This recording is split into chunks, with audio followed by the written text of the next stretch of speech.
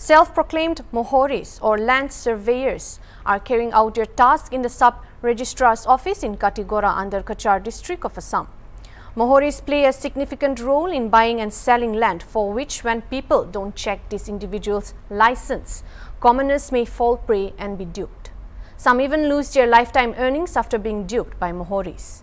The documents signed and drafted by these Mohoris many at times are not accepted by competent authorities. One such fake Mohori identified as one Sakib Ahmed Barbhuiya of Katigora was caught on camera duping a citizen.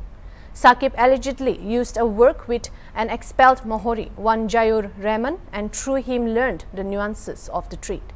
Others too are believed to be involved in this nefarious activity and the matter has been brought forward before the sub-registrar of Katigora, Jennifer Sultana Ahmed, to take action in the days to come.